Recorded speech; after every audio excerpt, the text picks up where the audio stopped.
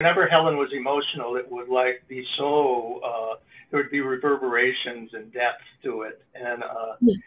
and we were all there listening, and it was very poignant moment, and it felt like the whole history of the show was in that rendition of Danny Boy, that Helen embodied the whole, encompassed the the entirety of Ryan's hope in that that singing.